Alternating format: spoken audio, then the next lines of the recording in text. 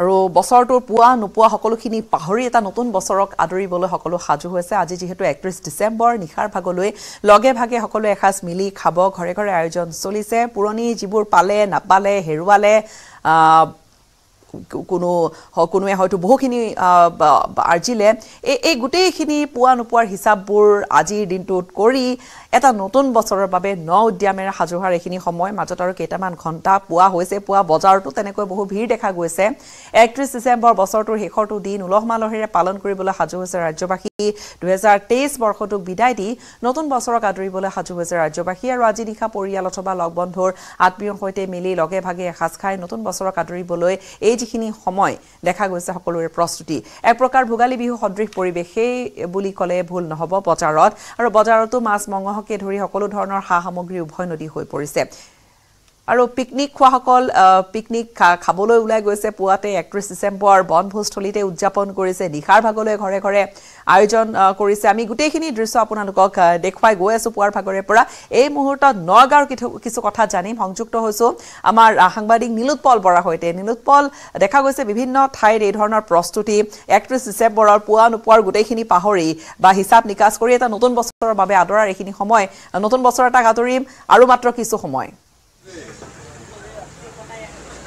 নিশ্চয়। গীতাশ্ৰী পুৰণিক বিদায় দি পুনৰ নতুনক আদৰিবলৈ সাজু হৈছে সমগ্ৰ বিশ্ববাসী। আৰু মই দেখুৱাইছোঁ বৰ্তমান একত্ৰিছ ডিচেম্বৰ উপলক্ষে সমগ্ৰ ৰাজ্যৰ লগতে আমাৰ নগাঁৱত দেখিবলৈ পোৱা গৈছে উখল মাখল পৰিৱেশ। মই দেখুৱাইছোঁ ইয়াত ডিমৰুগুৰিৰ মাছৰ বজাৰ একেদৰে বৰবজাৰতো প্ৰকাণ্ড মাছ ওলাইছে। আমি সেই ভিজুৱেলছো দেখুৱাম কিছু সময়ৰ পিছত।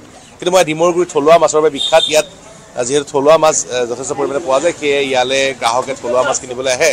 মোৰ লগত এগৰাকী মই নগাঁৱৰ যুৱক আছে। মই আপোনাৰ পাতিবলৈ চেষ্টা কৰিম। যিহেতু একত্ৰিছ ডিচেম্বৰ আজি কেইটামান মুহূৰ্তৰ পিছত আৰু এই দুহেজাৰ তেইছক বিদায় দুহেজাৰ চৌবিছক আদৰিবলৈ সকলো সাজু হৈছে।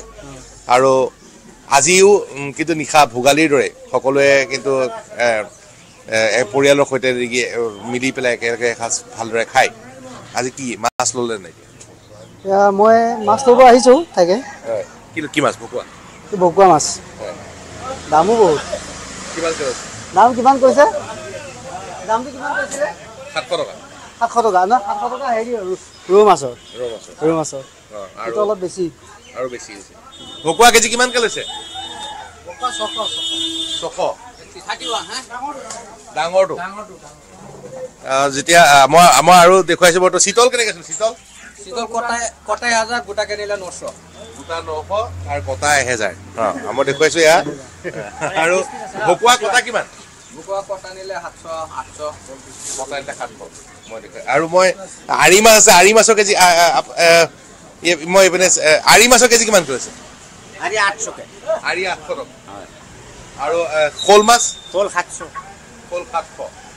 মই দেখুৱাইছোঁ থলুৱা মাছ বৰ্তমান যি আৰি মাছ আঠশ টকা কৈছে থলুৱা মাছ সকলোকে মোৰ ফালৰ পৰা নতুন বছৰৰ শুভেচ্ছা জনালোঁ। নিশ্চয়। সকলোকে খুব আপোনালোকৰ শুভেচ্ছা থাকিলে। আৰু মই আৰু এগৰাকী ব্যক্তি আছে মই জানিব চাম আপোনাৰ পৰা জানিব চেষ্টা কৰিম নতুন বছৰ আজি একত্ৰিছ ডিচেম্বৰ ভোজৰ প্ৰস্তুতি চলিছে। কি মাছ ল'লে? এইটো চিতল। চিতল ল'লে। কিমানকৈ কেজি ল'লে? এহেজাৰকৈ ল'লে কটা। কটা এহেজাৰকৈ আৰু আজি চিতল মাছৰ লগত লগতে আৰু কি কি থাকিব আজি? নাই জেনেৰেল আৰু এনেই জেনেৰেল আৰু। বিশেষ কোনো ইয়ে নাই। নিশ্চয় মই দেখুৱাইছোঁ এয়া বৰ্তমান ডিমৰুগুৰি মাছৰ বজাৰ প্ৰতি এইটো কিমান চাওঁ? এইটো কিমান ছয় কেজি ছয় কেজি আছে ছয় কেজি আছে। ক'ৰ মাছ কয় ক'ৰ মাছ বিল বিল বিল? হাৰিভাঙা বিল। মই এটা কথা ক'ব লাগিব যে হাৰিভাঙা বিলৰ মাছ খুব সোৱাদযুক্ত হয় যি ব্ৰহ্মপুত্ৰৰ কাষতে থকা চামগুৰি লাওখোৱাৰ হাৰিভাঙা বিল আৰু হাৰিভাঙা বিলৰ মাছ ইয়ালৈ আহে। গতিকে হাৰিভাঙাৰ মাছ ক্ৰয় কৰিবলৈ যি নগাঁৱৰ ডিমৰুগুৰিলৈ সকলো আহে। আৰু মই দেখুৱাইছোঁ বৰ্তমান সমগ্ৰ ৰাজ্যৰ লগতে নগাঁৱৰ ডিমৰুগুৰি মাছৰ বজাৰত যথেষ্ট বৰ্তমান ভিৰ দেখিবলৈ পোৱা গৈছে। যথেষ্ট থলুৱা মাছেৰে ইয়াত বৰ্তমান ভৰি পৰিছে। আৰু পুৱাৰ ভাগতে যথেষ্ট সকলোকে মাছ ক্ৰয় কৰিছে আৰু কিছু সময়ৰ পিছতে আৰু ইয়াত গ্ৰাহকৰ ভিৰ বেছি হ'ব বুলি সকলোৱে আশা কৰিছে। ঠিক আছে। হয় নিৰুৎপল ধন্যবাদ। আমাক আপুনি দেখুৱালে মাছৰ যি বজাৰ ইয়াৰ নগাঁও থলুৱা মাছ য'ত য'ত উপলব্ধ হৈছে পুৱাতে গৈছেও দুই চাৰিজন ব্যক্তি। হয়তো আৰু কিছু সময় বাগৰিলে ভিৰ আৰু কিছু বজাৰত বাঢ়িব। আহ, এই ধৰণে মাছে মঙহে এসাঁজ লগে ভাগে খোৱাৰ যি আয়োজন সেয়া ঠায়ে ঠায়ে নিশ্চয়কৈ চলিছে। চাওঁতে চাওঁতে আকৌ এটা বছৰ পুৰণি হ'ল আৰু কেইটামান ঘণ্টাৰ পিছতে এটা নতুন বছৰক আমি আদৰণি জনাম। এটা বছৰে বিদায় মাগিলে আমাৰ মাজৰ পৰা। কেইটামান মুহূৰ্ত তাৰপিছতে নতুন বছৰ পোৱা নোপোৱা সুখ দুখৰ মাজেৰে পাৰ হৈছে পুৰণি বছৰটি। আজি শেষৰটো দিন আৰু বিষাদ আঁতৰাই আনন্দ মনেৰে পুৰণিক বিদায় দি নতুনক আদৰিবলৈ ন উদ্যমেৰে সকলো সাজু হৈছে। তাতে আকৌ যিহেতু আজি দেওবাৰ আজি পিকনিক খাবলৈ বহু ওলাই গৈছে। বনভোজৰ যিসমূহ স্থান বনভোজস্থলীসমূহত দেখা গৈছে।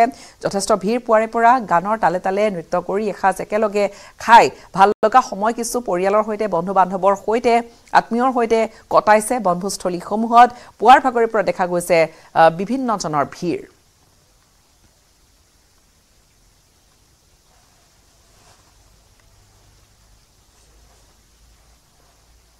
আৰু অসমবাসীলৈ ইংৰাজী নৱবৰ্ষৰ শুভেচ্ছা জনাইছে বিশিষ্ট সাহিত্যিক ইমৰান শ্বাহে।